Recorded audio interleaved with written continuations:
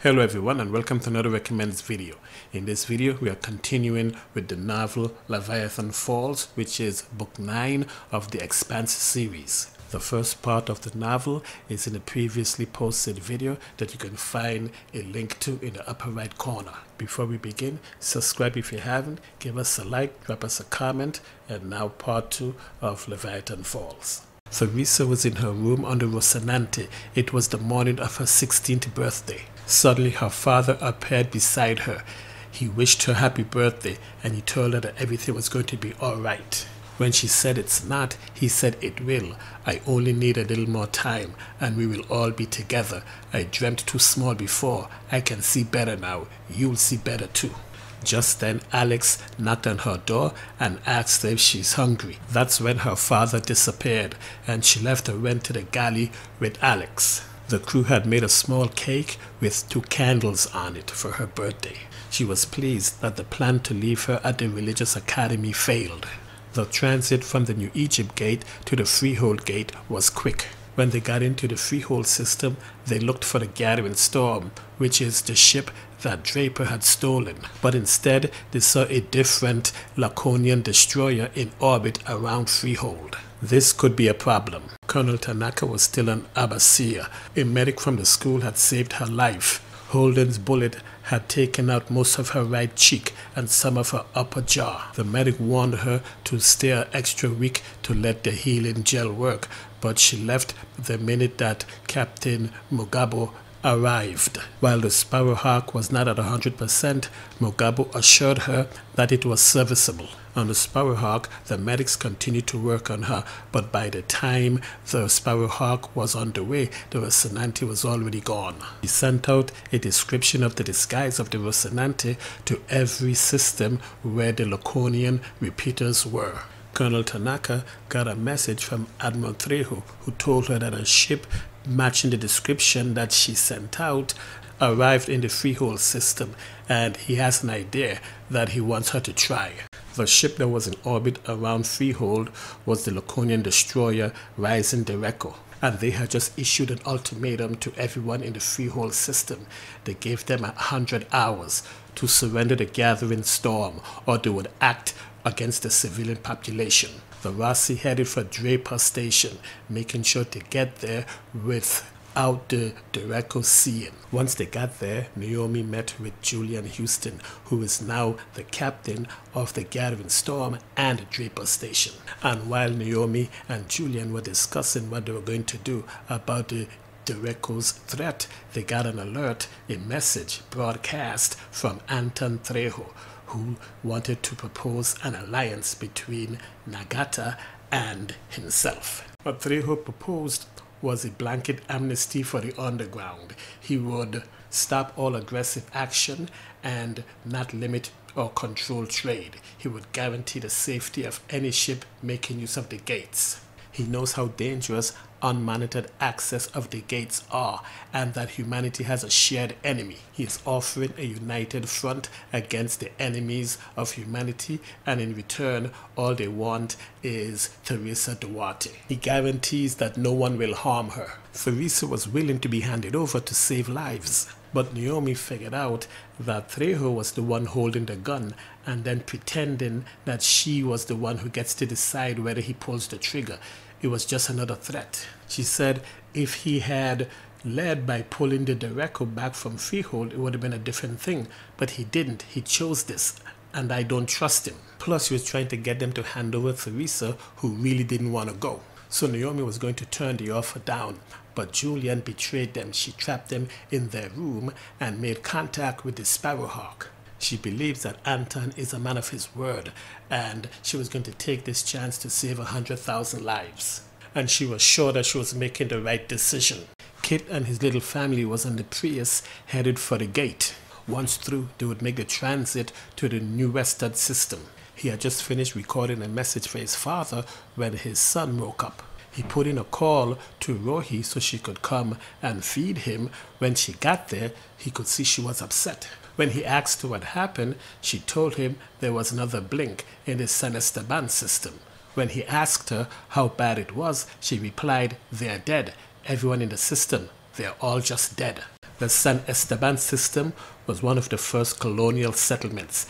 It had 18 million people spread across the system and now they were all dead. Alfredo called the Amaterasu from the South system went there with a cargo to find a system full of corpses. Some of the bodies were sent to Laconia and the reports were also sent to Elvi. She was also going over the interrogation of Jim Holden explaining the gate builders from the view he got when he was connected to the ring station. Then Fayez came in and Elvi gave him her theory. Although what the enemy did in the Esteban system worked, she doesn't think they know it worked.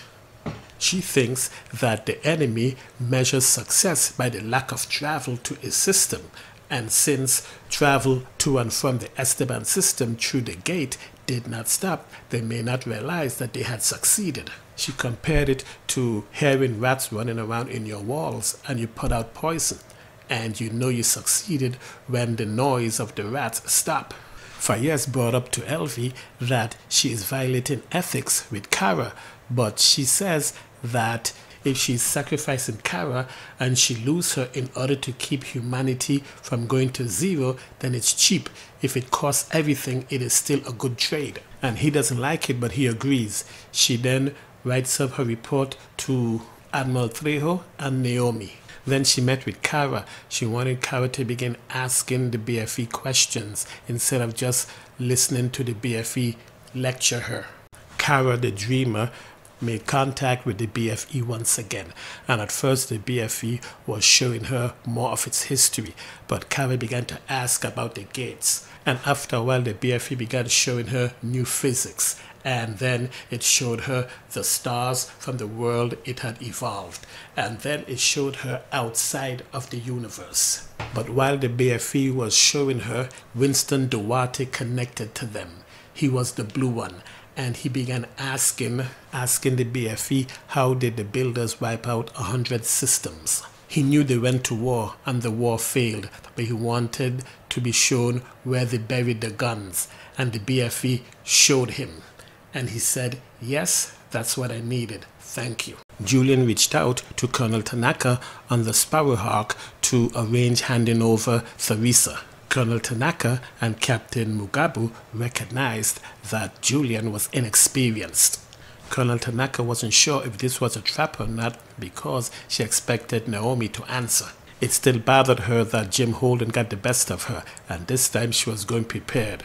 When Colonel Tanaka got to Draper Station, Julian didn't hand over Theresa right away. She wanted to make sure that they were acting in good faith, and that's when Tanaka attacked. Tanaka advanced through the station, fighting all the way. They managed to hurt her when they used an improvised missile on her, which broke three of her ribs. She then turned up her suit speakers and shouted, The person who brings me Theresa Duarte lives. Everyone else is going to die. Once Jillian realized she had made a mistake, she quickly freed the Rocinante crew and told them to get the hell out. Jillian managed to reach the Gathering Storm, got into it, and launched. She now faced two Laconian ships, the Sparrowhawk and the Derecho. She watched as the Rocinante also got away from Draper Station. Julian and the Gathering Storm faced off against the Sparrowhawk. Captain Mugabo tried to get her to surrender, but this time Jillian didn't bite. As the Rossi headed for the gate, Jim saw on the tactical display that the Gathering Storm was destroyed, as was the Sparrowhawk, and that the Derecho was headed for Draper Station. It wasn't chasing them. So the Rossi slowed down on its rush to the gate. It seems that the Derecho was going to pick up Tanaka. And while they were discussing what just happened, Theresa informed them that Amos just had another seizure. When Amos came through, he explained to Jim that it was because Elvie is pushing harder, and since he is connected, he gets the spillover. He says that there are three of them connected. He's not sure which three. Amos and Jim had a talk. They don't believe that Colonel Tanaka is going to give up and that she may be operating from a need for vengeance. Then Jim tells Amos that he wants to go out knowing that things will be okay without him, that it all keeps going. And Amos says, maybe you're not that important and it ain't up to you to fix the universe. Colonel Tanaka was on the Derecho chasing after the Rossi. The captain warned her that their supply of high G drugs may not be sufficient for a maximum burn, but she overruled him. Meanwhile, the freighter, the Forgiveness, was about to pass through one of the gates on its way to Bara Gaon. The captain was about to make the jump without clearance, and he knew that was a risk. But as he figured, life is a risk. On the Rossi, they were trying to decide where to go once they go through the gate.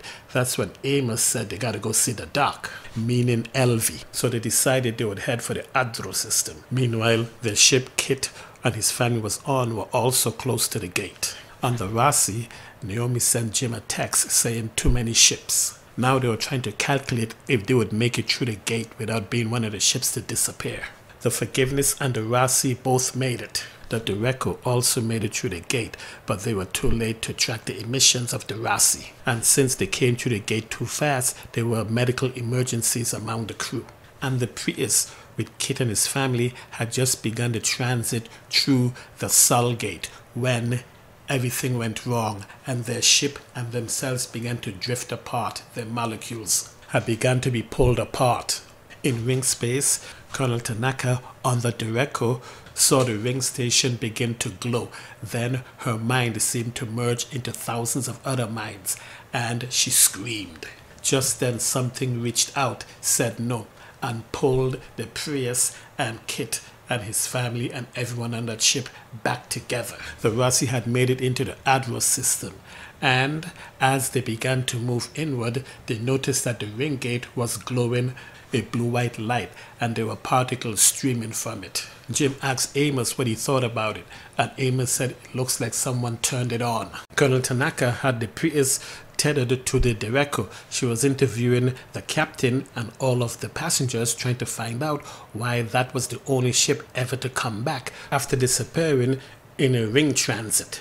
After speaking with the captain of the Prius, she realized that everyone seemed to have experienced that merging of minds. The captain remembered being a woman with very dark skin.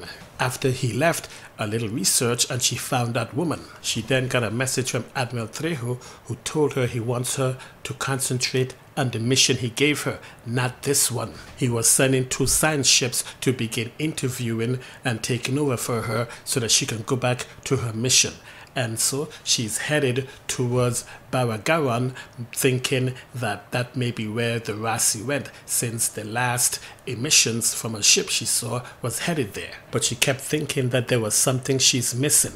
The Rossi was in the Adro system, headed for a meeting with the Falcon, which is Elvi's ship. Once both ships were connected, Naomi, Jim, and Amos went across, leaving Alex and Teresa to stay with the Rossi. Elvi, Fayez, and Kara met with them. Elvi began showing them what happened in ring space. She got a direct report and video from Colonel Tanaka, who filmed everything. They saw when the Prius disappeared and came back. When that happened, the dark entities attempted to come into ring space as they did before when they killed the Medina station but all of the rings and the station lit up and that seemed to drive it back and the rings now seems to be communicating and acting as a living entity. She told them about how everyone in the ring space uh, during the event remembered lives that weren't their own and 2% of them talked to someone who wasn't there. Kara saw him and Amos said, you think it's Duarte. So Elvi's plan is to put Amos and Kara in contact with the BFE at the same time and then try to talk to Duarte, who they think is the one operating all the things that's going on in the ring system right now.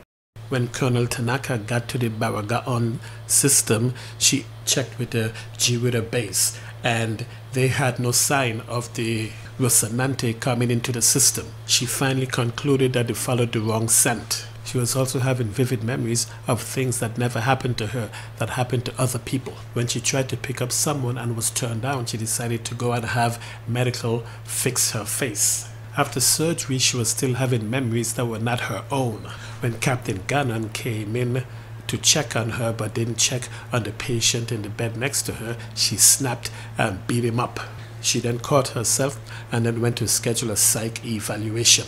On Rossi, Zan and Theresa are playing with Muskrat, while Jim apologized to Fayez for getting him and Elvi stuck doing this. But Fayez took him onto the Falcon and showed him the catalyst. He had done some investigation and found out who she really was and what she did to be condemned to the pen. He told Jim anytime he's feeling bad about it, remember that as bad as they are doing now, it would have been worse if Ochida and Cortazar were in charge. They then prepped Amos and Kara and then linked them to the BFE. Kara and Amos link up in the BFE and they meet Duarte and they begin to question him. He tells them that the builders fought an unwinnable war. He tells them that there were tools that were made to fight against the enemy that sit on the third side of the gates. He says it's a war that humans can win, but not without some changes changes that he's working on. He says that we are not stronger than they are, but we are base material,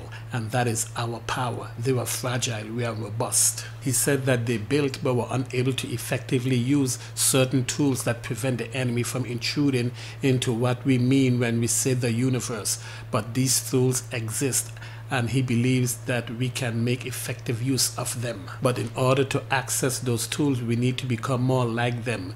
We need to become a hive mind. When he was asked, Will we be people? he says, We will be better. And then they were pulled out. Apparently, while Kara and Amos was connected, Duarte appeared not only to them, but he appeared in the control room of the ship and he spoke with Elvi. After he disappeared, Elvi, Naomi, Jim, and Fayez got together and began discussing what he said. The first thing they wanted to know is if he could do what he said he was going to do, and the answer was probably. The next question was what sort of hive mind would he create?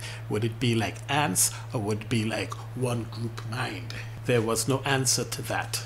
After they left, Amos came to Elvi and told her that what she's doing to Kara and Zan stops now. Then he left, and Elvi was afraid. So Colonel Tanaka went to see a psychiatrist to help alleviate the memories that have been popping into her mind, those foreign memories that have been bothering her, causing her emotional distress. After speaking with the psychiatrist for a while, the psychiatrist prescribed her some pills for her to take. When she got back to her room, she got a call from Dr. Oshida, who had analyzed the data that she sent from ring space. When all the rings and the ring station were lit up, one dark spot was analyzed and it corresponded with the egg ship that Duarte used to disappear and it was resting on the ring station.